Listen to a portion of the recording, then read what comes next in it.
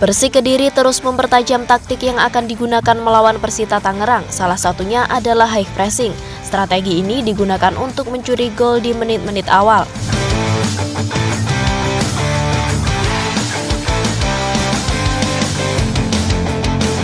Sejatinya, Marcelo menerapkan high pressing itu sejak dia menukangi Persik. Dia menyebut cara tersebut ampuh untuk meredam serangan lawan.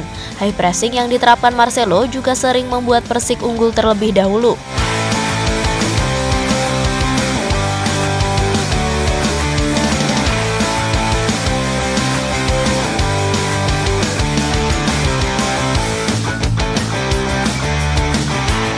Untuk memaksimalkannya, Marcelo terus melatih anak asuhnya. Kemarin latihan resmi Punggawa Persik kembali dilakukan di Stadion Brawijaya.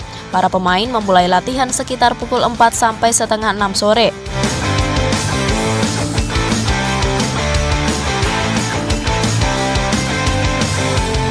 Terkait porsi latihan kemarin, Marcelo menyebut jika timnya terus memperbaiki transisi para pemain, setidaknya porsi latihan tersebut akan dia lakukan hingga menjelang pertandingan yang akan berlangsung esok Minggu 8 Oktober 2023.